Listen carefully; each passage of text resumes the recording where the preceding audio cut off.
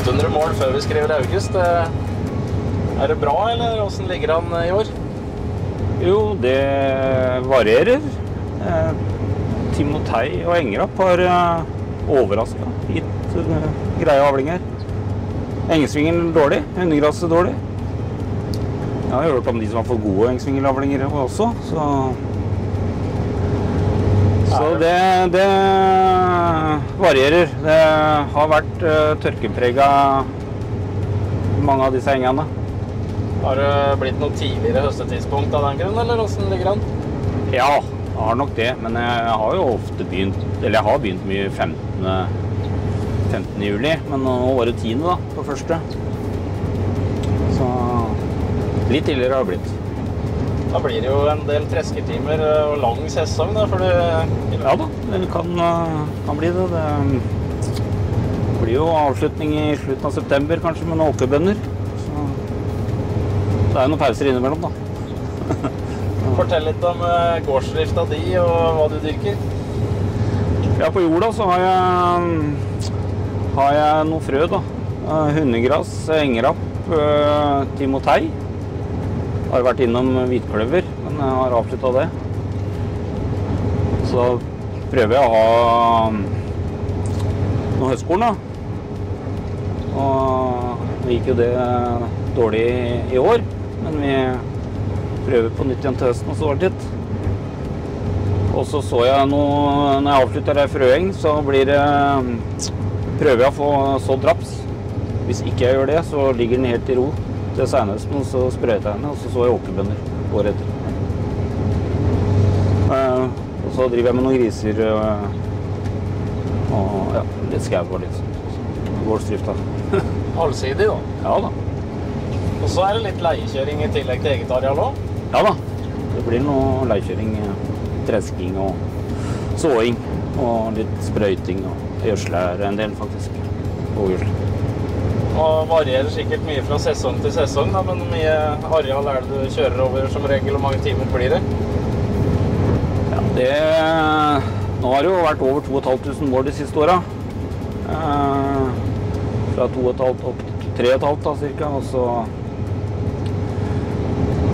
Så det noen timer. Og engrapptresking når vi kjører i i en kilometer i timen, så blir det noen timer. Så har det vært oppi 300 timer på det meste. I norske forhold så er det vel ikke mange, mange som klarer å treske noe særlig mer enn det, men det er klart når det kommer i gang i juli, så er det jo noen lange, fine dager. Ja da. Jeg hører jo det på Bergan at jeg kjører noen timer. Det er jo det er ikke så mange andre som kjører så mange timer, kanskje. Mm.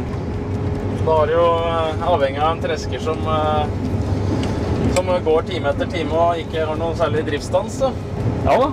Ja, denne her fikk jeg midt i sesongen i fjor. Og har kjørt klass nå Ja, det er jo Det er fjerde klassen jeg har. Men uh, jeg bytta inn en fin tresker, en 630.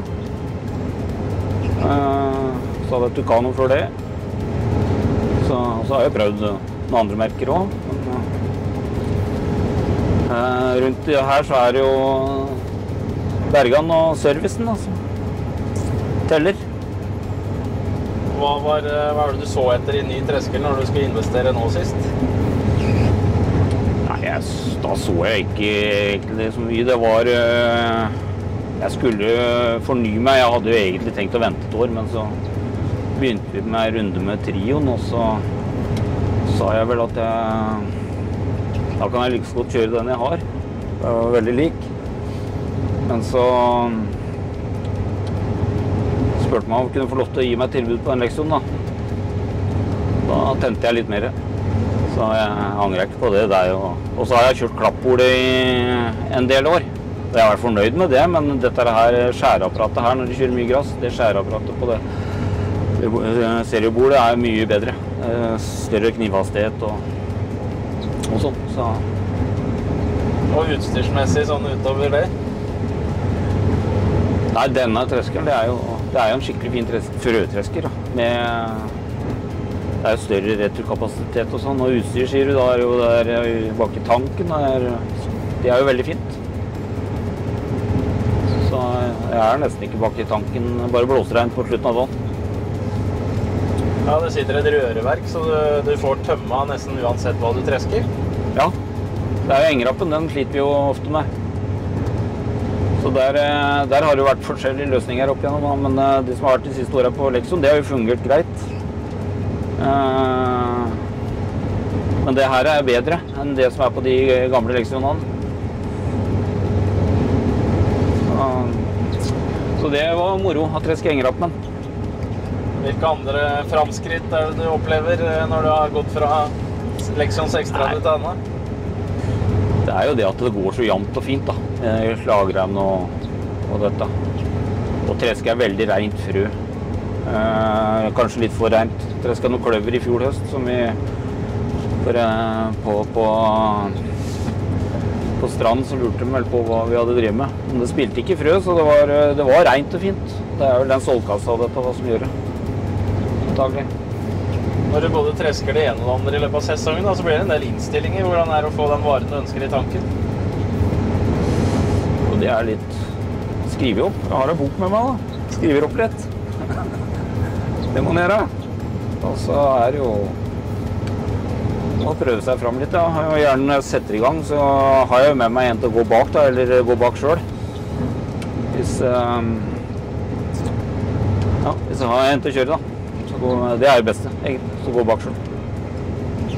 Da sjekker du spill og Spill over Sola, da, og mest. Og så er det jo det hva som er igjen i annengangs... Nei, til annen gang, når jeg tresker to ganger. Sånn som på hundegras og timotein tresker jo to ganger. Ofte også tim og engrapp, egentlig. Så, Men det å treske to ganger, da, det, det avhenger litt av eh, sesongen og modninga. ja. Åssen er årets sesong kontra i fjor? Det er mye mer ujevnt i, i monninga pga. tørka. Det, jorda er jo ikke helt likt. Eh, Modent eller likt, så det er jo det er ujevnt. Så det er jo mange som har skålagt timotei i Vestfold i år. Og det var nok ikke dumt. Men nå har jeg, her tresker jeg, som jeg tresker nå, tresker jeg om lørdag. Så nå kjører jeg annen gang nå, det er jo helt ideelt egentlig.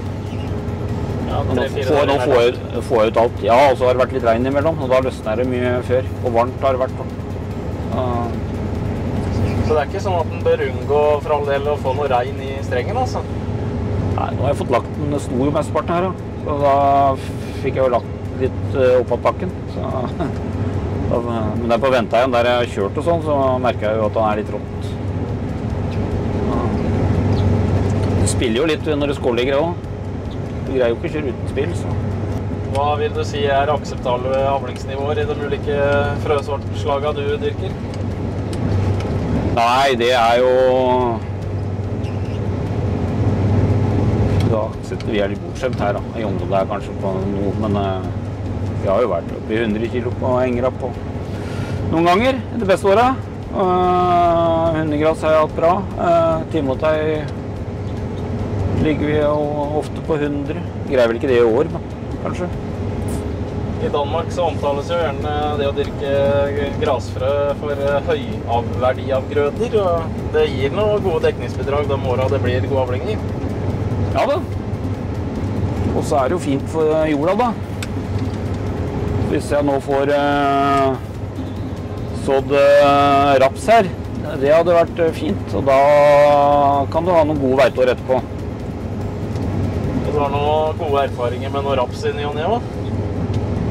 Har jo hatt både gode og dårlige. Toppen var Nei, det er en god del år siden. Jeg har, har bikka 500, men eh, jeg, jeg sådde et areal direkte i 2018, tørkeåret, med en sånn Missouri, leide en Missouri til å så for meg. Og hadde jo veldig flaks da, med spiring og sånn, så da ga han rett i underkant av 500. Det var, eh, det var moro. Hva er oppskrifta på gode frøavlinger? Ja, det er å gjøre ting til rett tid, da. Rette tinga. Så ikke være redd for å bruke plantevern.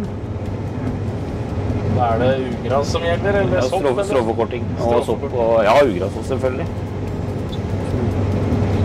Men alle frøarter eh, viser det seg at det er lønnsomt å,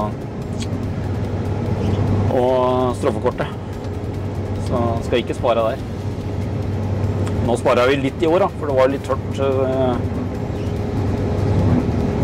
til eh, den annengangs timotei-stroffekortinga som jeg hadde tenkt. Så da, da lot jeg det være. Men jeg angrer på at jeg ikke soppsprøyta, faktisk. Det ble det bare som ble. Ja, hvordan ser eh, de øvrige partene til dyrker eh, ut i år?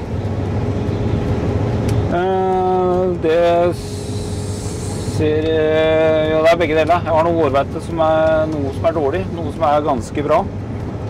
Eh, tok jo opp mye høstbeite. Og bygget er best, egentlig. Så du noe bygg etter høstbeite? Det er klart tørken best. Har du noe vanning på noen arealer, eller? Nei, det har jeg ikke. Så, men jeg har, eh, har noe grisemøkk på biorest, og det ser en år etter år at det er fint å få, få, få det ja, i bakken og oppå bakken. Og, Det er vel, eh, der er vel eh, Vestfoldbøndene litt heldige med denne bioresten. Dere har betydelige mengder i området her. ja da, det er jo det er jo syv kilometer syd for her vi er nå, som den magiske fabrikken her.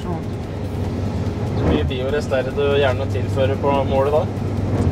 Nei, det varierer, men tre-fire tonn. Det spørs litt når du sprer og sånt. Men eh, høstbeiten om våren, så fire tonn er jo fint. da. Kan ta det.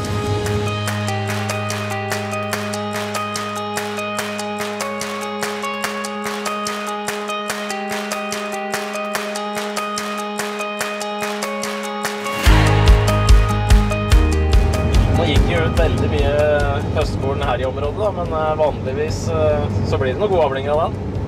Ja da. Du kan få gode avlinger, er du. Og det er jo mye mange gode sorter nå, så det er mulig. Med god forgrudd og sånn òg, da, så kan det bli bra. Du er eh, nysgjerrig på nye sorter og bytter gjerne ofte, eller? Ja, eller ja, jeg har jo bytta en del, da, men uh, skal faktisk prøve en ny en nå. En uh, fotsort, en som heter Rotax. Den er helt ny. Jeg har jo hatt ozon i mange år. Har jo fungert bra. Og praktikk med matveite. Så de er gode sorter begge to. det. På vårveiten så er det både betong og karess i år. Ja, jeg har egentlig gått over til karess, nei, til betong, men så har jeg jeg måtte så om så mye etter høstvetten, så, så var det ikke noe mer betong å oppdrive. Så da ble det karess der. Og den betongen den virker lovende. Ja, den er fin.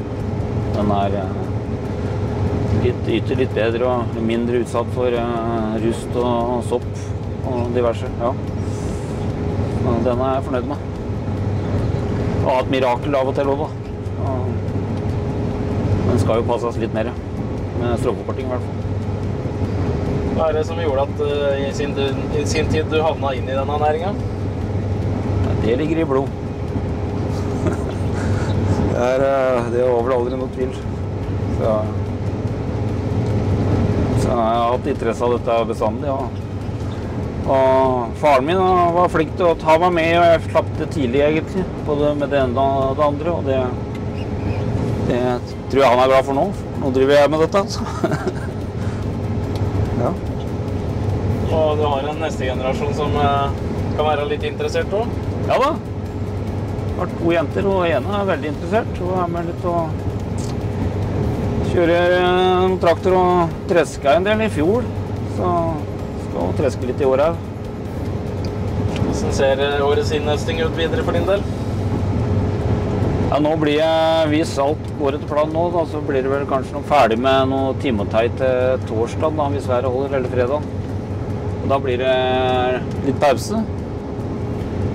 Og så er det en eh, snaue 100 mål med høstveite som kommer. Så det er eh, noe ja, 30 mål for meg sjøl, og så er det noe leie- leietresking.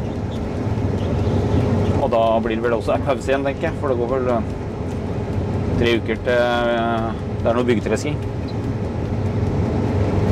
Tipper jeg. Og innimellom her så skal det etableres litt eh, både høstraps og høstkorn, kanskje?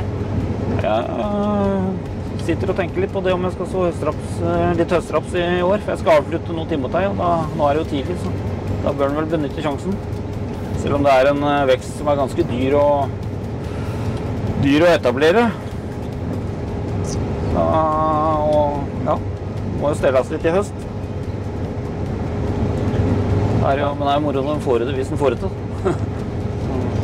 Ja, absolutt. Du får eh, fortsatt lykke til og god innhøsting. Takk for det.